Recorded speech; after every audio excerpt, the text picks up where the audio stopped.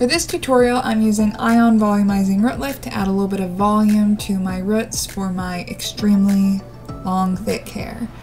I get the root lift as close to my scalp as possible and then I use my fingers to pull it up and let it air dry. I air dry it to the opposite side of my part. That way I can just flip it over and get that extra volume without any added heat. Now I'm going to take my hair straight up and spray it with water. Take the curler as close as I can to the roots to do what's called an on-base curl. Then I'm just going to wrap the hair down the curler in a spiral motion. I'll take the net, open it up, grab hold of the curler, and up over once, twice, and it's done. This will help the curls be closer to the top of your head. Next, we're just gonna repeat the process of that on base curl. Go through all the curlers. Today I'm going to use eight curlers in my hair. So all eight curlers, four on the top, four on the bottom, and just keep repeating this process, creating that on base curl at each section.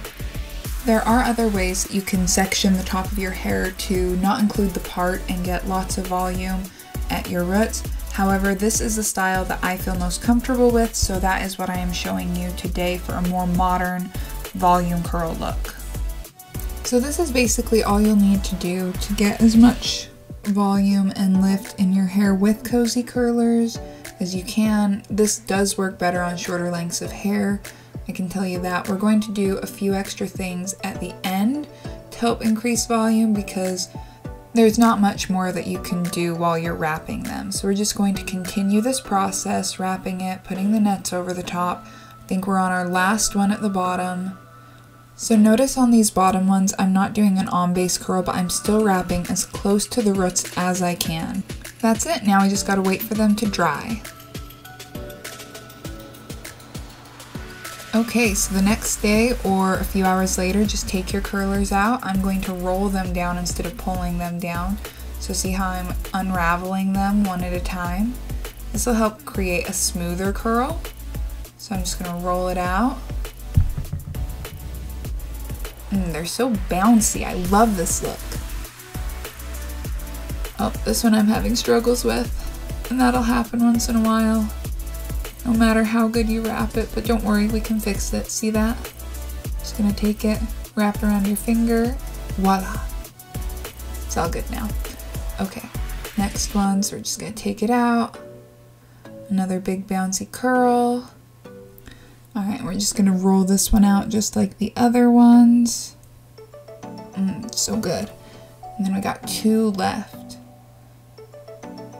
This one. There we go, nice and bouncy. Last one. This is our piece that we really tried to get a little bit of extra volume in, and there is a little bit more lift than what I would usually have because I have really thick and heavy hair. Even with my small amount of layers I have in there, it still has a hard time getting volume, which is why I thought it'd be good for me to do this video. So what I'm gonna do next is just run my fingers through the top of my hair near my roots, pulling it out trying to get that extra lift at the top. Right here would be a good spot to add a little bit of hairspray near those roots to keep it up. So this is the result without any teasing or anything else. I'm gonna fix one piece of hair. There you go, that's all you have to do to fix a weird curl is just redirect it. And then these are the results.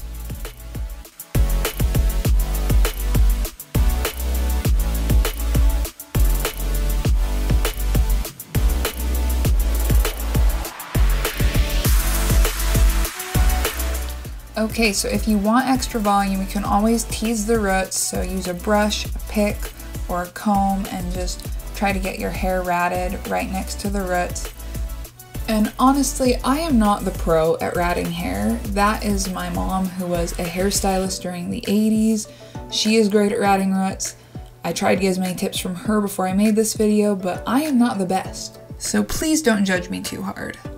But this is as good as I could do. Um, I definitely have some volume. I combed it out to smooth out those ratted pieces and I'm just gonna twirl my finger around some pieces that got a little messy when I ratted them. These volumizing tips will work better on shorter lengths of hair as well as layered haircuts. Please remember that the products you use and your haircut and hair type will have an effect on your curls, but I hope these tips helped.